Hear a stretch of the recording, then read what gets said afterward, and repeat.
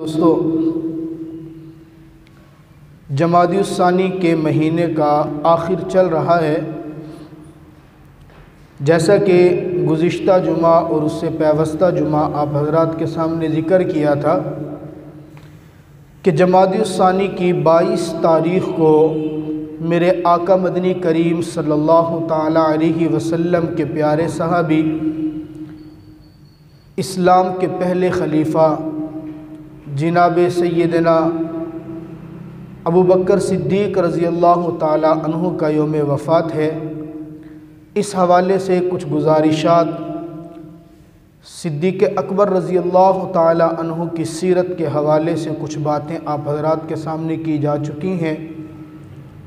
میرے دوستو، بائیس جمادی الثانی یوم صدیق اکبر کے طور پہ منایا بھی جاتا ہے۔ اور یوم وفات بھی ہے۔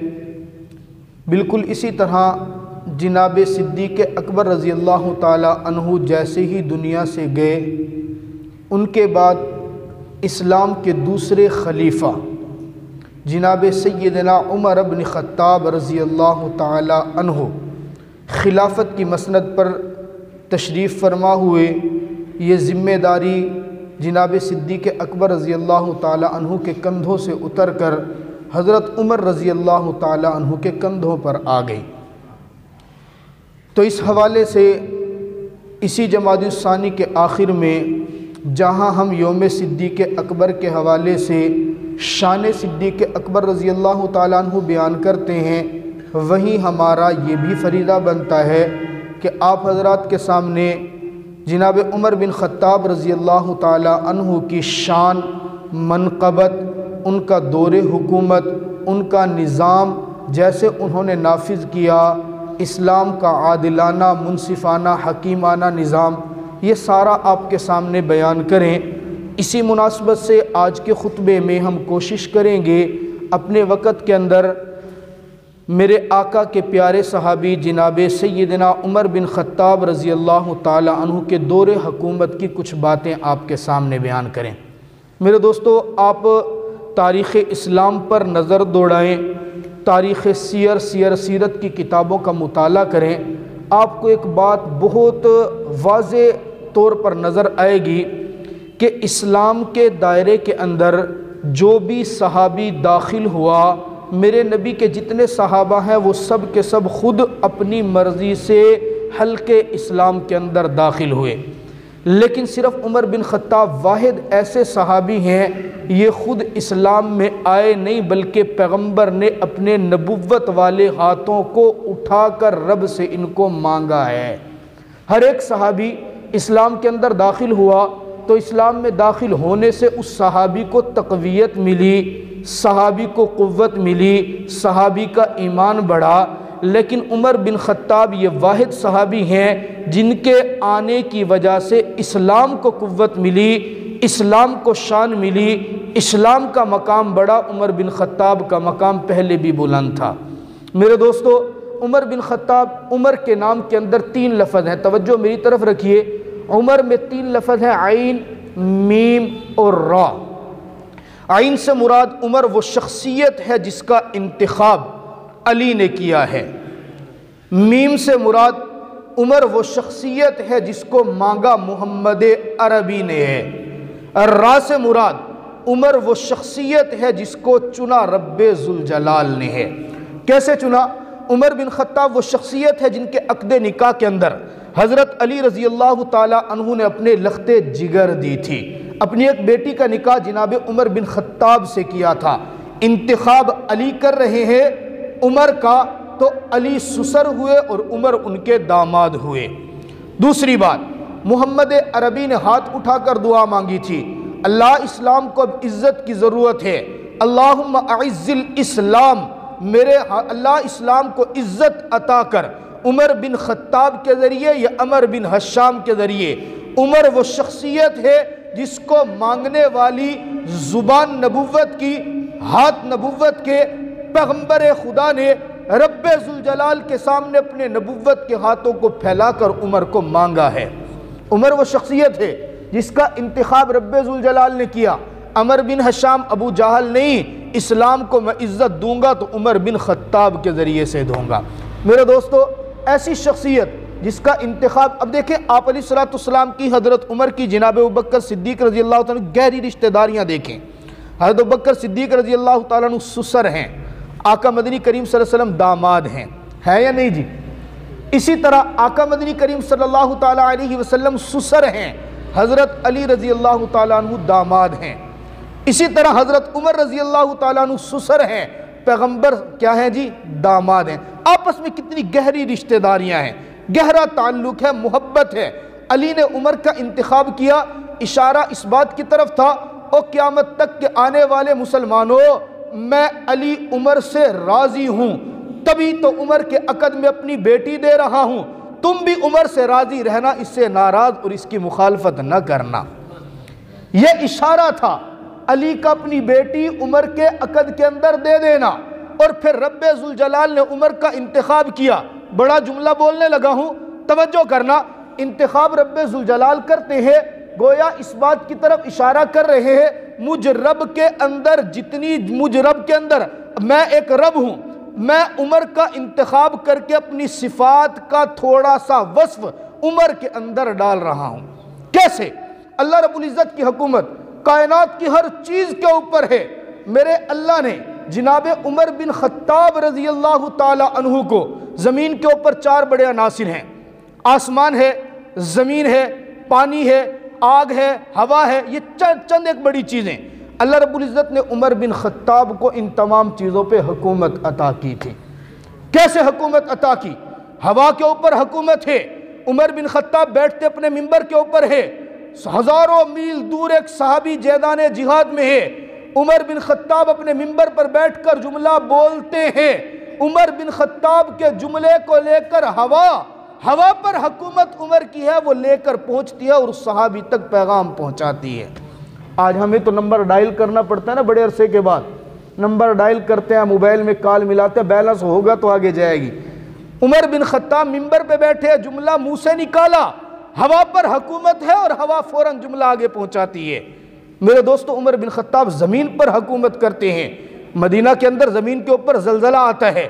عمر بن خطاب اپنا درہ اٹھا کے زمین پہ مارتے ہیں اور مارتے ہوئے کہتے ہیں، زمین دھڑکتی کیوں ہے؟ کیا عمر نے تیرے اوپر انصاف نہیں کیا؟ کیا عمر تیرے اوپر انصاف نہیں کرتا؟ خدا کی قسم، تاریخ نے تاریخ میں لکھا ہے، عمر کا درہ زمین پر لگنے کی دیر تھی، دھڑکتی زمین اسی وقت ساکت ہو جاتی ہے۔ یہی عمر پانی پر حکومت کرتے ہیں۔ پتا چلا شام کے جنگلات کے اندر آگ لگی ہوئی ہے۔ عمر بن خطاب رضی اللہ تعالیٰ اپنی چادر اٹھا کے دیتے ہیں۔ اور کچھ نہیں کرنا، جا کے آگ کے سامنے میری چادر کر دینا۔ اور یوں آگ کو ہانک کر لے جانا، جیسے انسان ڈنڈے کے ذریعے ایک جانور کو گدے کو، بے زبان جانور کو ہانکتا ہے۔ تاریخ میں لکھا ہے، عمر کی چادر آگ کے سامنے گئی تو آگ میں جرت نہیں تھی کہ آگے بڑھ جائے۔ یہ عمر کی حکومت آگے پانی پہ مشہور واقعہ ہے، دریائے نیل خشک ہو گیا۔ جناب عمر رضی اللہ تعالیٰ خط لکھ کر بھیجتے ہیں۔ دریائے نیل کے پانی کو مخاطب کرتے ہیں۔ اب ہم اسلام کے اندر داخل ہو چکے ہیں۔ ہمیں زمانہ جاہلیت کے رسوم و رواج کی پرواہ نہیں ہے۔ اگر تو رب کے حکم سے چلتا تھا تو چل، نہیں چلتا تو تیری کوئی ضرورت نہیں ہے۔ تاریخ میں لکھا ہے، جب سے عمر بن خطاب کا خط دریائے نیل میں گرا ہے، ڈالا گیا ہے۔ اس وقت سے لے کر آج تک کبھی پانی خشک نہیں ہوا ہے۔ یہ سب چیزوں کے اوپر حکومت ہے۔ عمر بن خطاب رضی اللہ تعالیٰ عنہ ایسے صحابی ہیں، بائیس یا ستائیس مقام ایسے ہیں۔ جن موقعوں پہ عمر بن خطاب بولتے ہیں، میرا رب ان کی بات کو قرآن پاک میں قرآن کی آیت بنا کے اتار دیتے ہیں۔ عمر بن خطاب وہ ہیں کہ آپ علیہ السلام کی ایک حدیث مبارکہ مشکا شریف کے اندر بڑی مشہور حدیث ہے۔ آقا فرماتے ہیں، ہر ایک امت کے اندر، ہر ایک نبی کے صحابہ میں ایک ایسا ہوتا ہے کہ جس کے اوپر میرا اللہ اپنے کلام کو جاری کرتے ہیں۔ میرا اللہ جو چاہتا ہے نا، اس کی زبان سے نکلوا دیتا ہے، پھر اس کو اپنا کلام بنا دیتے ہیں۔ میری امت کے اندر اگر کوئی ایسا شخص ہے تو وہ عمر بن خطاب ہے۔ میرا اللہ ان کی زبان بائیس یا ستائیس غزوہ احد کے موقع کے اوپر گھمسان کی لڑائی ہے۔ اس لڑائی کے موقع کے اوپر حضرت عمر بن کفار نے آواز لگائی، توجہ کرنا۔ کفار آواز لگاتے ہیں جی برنگیختہ کرتے ہیں، مبارزت کرتے ہیں۔ این محمد این ابو بکر این عمر۔ عمر کہاں ہے؟ محمد کہاں ہے؟ نکلو ہمارے مقابلے میں۔ جناب عمر بن خطاب بیٹھے ہیں، اٹھنے لگتے ہیں۔ آقا میں اس کا جواب دیتا ہوں۔ آقا فرماتے ہیں، نہیں، ابھی بیٹھ جا۔ ابھی وقت نہیں ہے جواب دینے کا۔ جب جواب دینے کا وقت ہوگا، میں تجھے خود بتاؤں گا۔ وہ برنگیختہ کرتا رہا۔ بلاخر تھوڑی دیر کے بعد ایک اعلان انہوں نے کیا، کفار مکہ نے، کہنے لگے، قد قتل محمد صلی اللہ علیہ وسلم، نعوذ باللہ محمد عربی کو شہید کر دیا گیا۔ پھر اس نے بلند آواز سے آواز لگی، اعلو حبل! اپنے بت کا نام لے کر ایک نعرہ لگایا۔ آپ علیہ السلام نے عمر بن خطاب کو مخاطب کر کے کہا، عمر، اب بات آ گئی ہے تیرے جواب دینے کی۔ جب تو اسلام میں داخل ہوا تھا، سب سے پہلے نعرہ میں نے لگایا تھا۔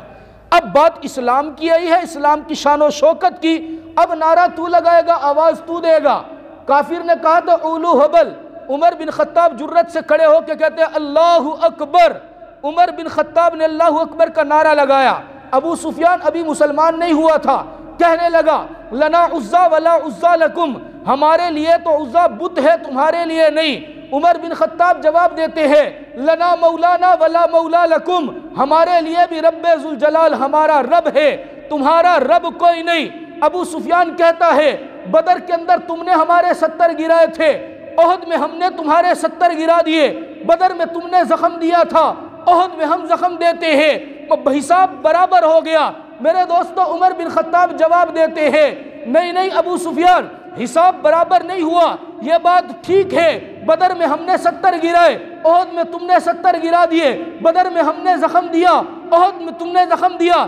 حساب برابر نہیں ہوا۔ رب کعبہ کی قسم، ہم نے تمہارے ستر گرائے تھے۔ وہ سارے کے سارے جہنم کا ایندھن بنے تھے۔ جو ہمارے ستر شہید ہوئے، وہ جہنم نہیں، بلکہ میرے رب کے پاس جنت میں مہمان بن کے چلے گئے ہیں۔ اسلام کی شان و شوکت میرے اللہ نے عمر بن خطاب رضی اللہ تعالیٰ عنہ کی زبان سے جاری کرائی ہے۔ عمر بن خطاب رضی مدینہ کے اندر ایک مرتبہ صبح صبح نکلے۔ اب دیہات کے اندر آج کل بھی شاید ایسے کہیں ہو، ویسے ہے تو مشکل۔ پہلے ایسے ہوتا تھا کہ عورتیں گھروں کے اندر سے نا قضاء حاجت کرنے کے لیے باہر کھیت کی طرف جایا کرتی تھی۔ اس معاشرے کے اندر بھی، عرب کے اندر آقا مدنی کریم صلی اللہ علیہ وسلم کی ایک بیوی حضرت زینب رضی اللہ تعالیٰ عنہ امہات المؤمنین میں سے ہے۔ یہ صبح صبح گھر سے باہر نکلی تو کسی کافر نے دیکھا، دیکھ کر زبان سے یوں کہہ دیا وہ پیغمبر کی بیوی جا رہی ہے۔ حضرت عمر رضی اللہ تعالیٰ کان میں آواز پڑ گئی۔ کان میں آواز پڑی جلدی سے۔ ام المؤمنین حضرت زینب رضی اللہ تعالیٰ کے سامنے آئے اور آ کر کہتے، امی جان، آپ یوں نہ نکلا کریں۔ آپ جب بھی گھر سے نکلے، آپ پیغمبر کا حرم ہیں۔ آپ پیغمبر کی بیوی ہیں۔ آپ مومنین کی ماں ہیں۔ میری غیرت گوارہ نہیں کرتی کہ آپ پردے کے بغیر گھر سے باہر نکلیں۔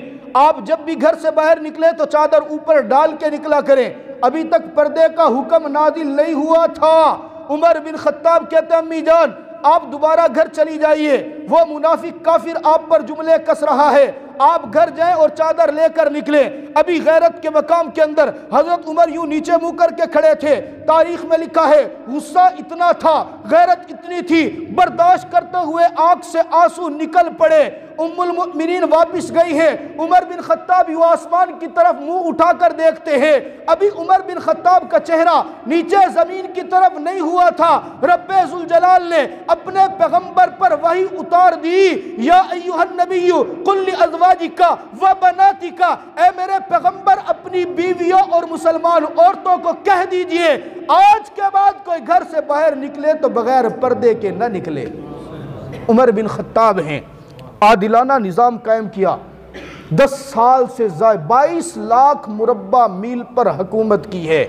بائیس لاکھ مربع میل زبان سے کہنا آسان ہوتا ہے۔ اپنے دور حکومت کے اندر چار ہزار مساجد بنوائی ہیں۔ چار ہزار، اپنے دور حکومت میں چھتیس ہزار بچے قرآن کے حافظ بنوائے ہیں۔ نو سو مساجد ایسی تھی جن مسجدوں کے اندر جمعہ کی نماز کا اہتمام عمر بن خطاب نے کروایا۔ سب سے پہلے مساجد کے اندر امام کا تقرر اور امام کی تنخواہوں کا انتظام عمر بن خطاب نے کیا ہے۔ سب سے پہلے ڈاک کا نظام بنانے والے عمر بن خطاب ہیں۔ سب سے پہلے آپ پاشی کا نظام بنانے والے عمر بن خطاب ہیں۔ اور عمر بن خطاب ڈاک کا انتظام کیسے کرتے؟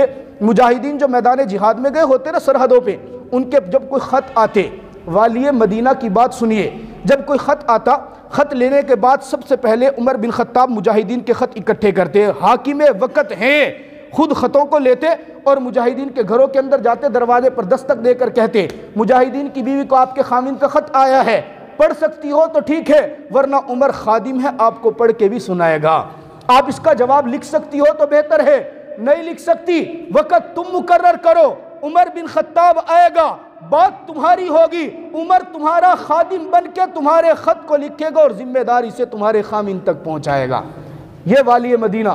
عمر بن خطاب رضی اللہ ایک مرتبہ مسجد نبی کے اندر بیٹھے تھے۔ مسجد نبوی کے اندر ایک دروازہ ہے جس کا نام باب السلام ہے۔ میں نے بھی دیکھا تو نہیں ہے، کتابوں میں پڑھا ہے۔ دعا ہے، اللہ تعالیٰ مجھے بھی یہ دروازہ دیکھنے کی توفیق عطا فرمائے اور آپ کو بھی اللہ تعالیٰ یہ سعادت دیکھنے کے بعد کسی چیز کے بیان کرنے کا لطف ہی کچھ اور ہوتا ہے، اس میں اثر ہی کچھ اور۔ ابھی صرف کتابوں میں پڑھا ہے کہ باب السلام کے سامنے دروازہ ہے۔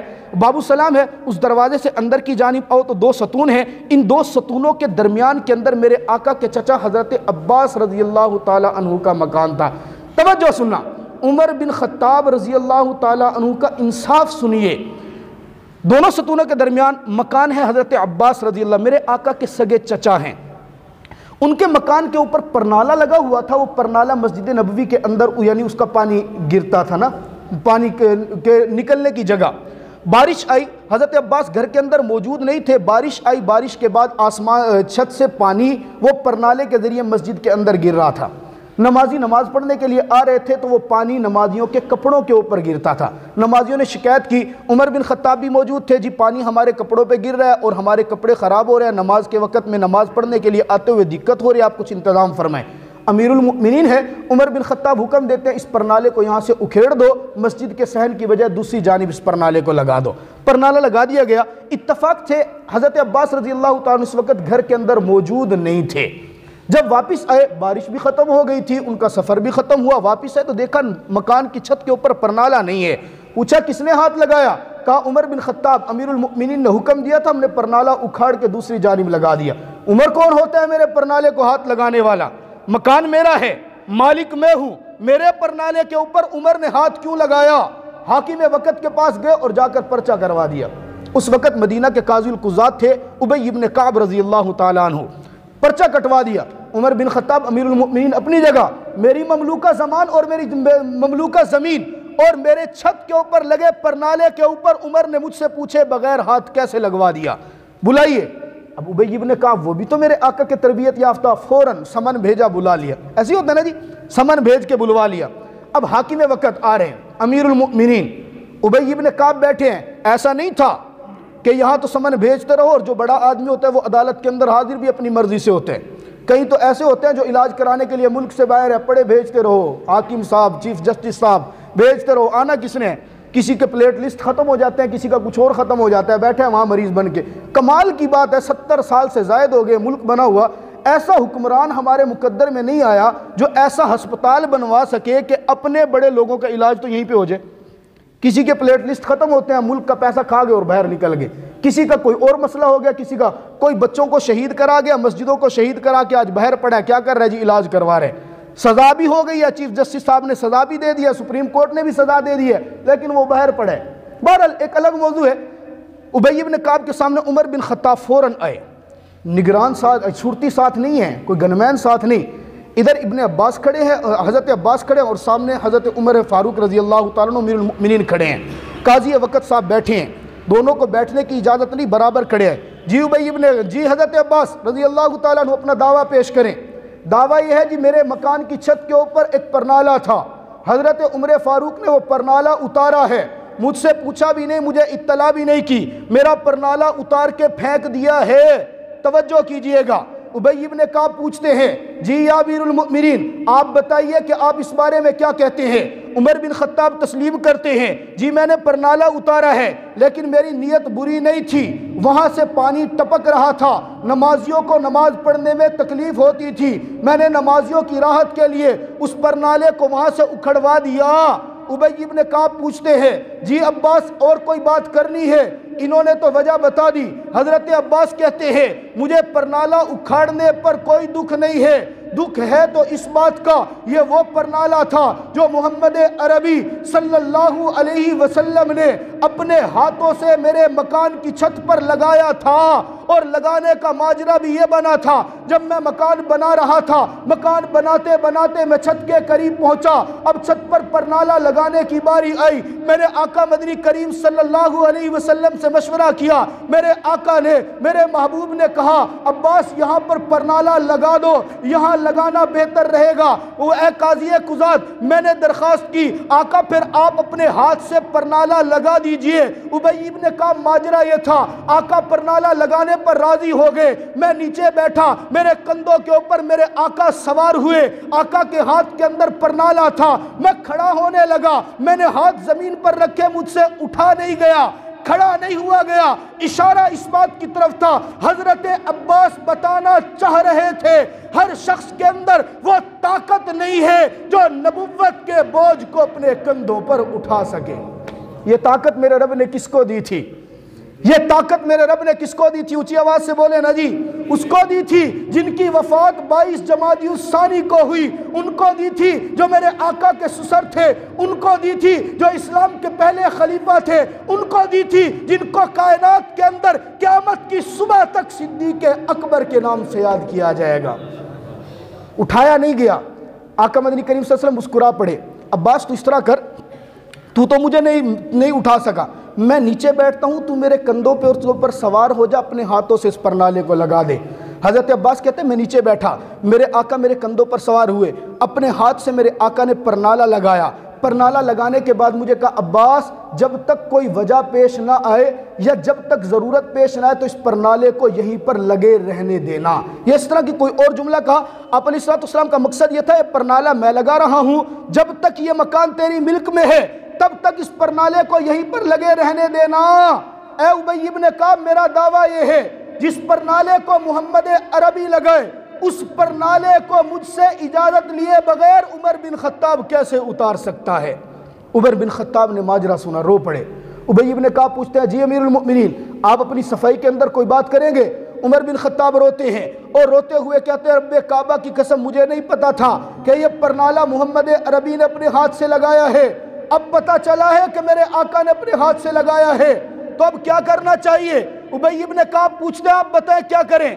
عمر بن خطاب کہتے ہیں، آج مدینہ کا حاکم، آج مسلمانوں کا امیر المؤمنین، آج مسلمانوں کا حاکم اپنی سزا خود تجویز کرتا ہے۔